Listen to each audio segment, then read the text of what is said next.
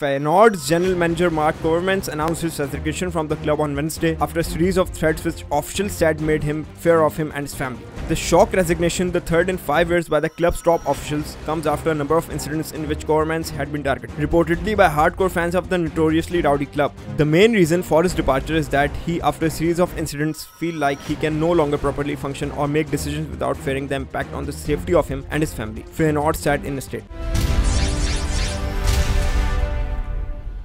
बोल ब्रीफ्स की वीडियो सबसे पहले देखने के लिए बोल ब्रीफ्स के चैनल को सब्सक्राइब करें और बेल आइकन पर क्लिक करना ना भूलें।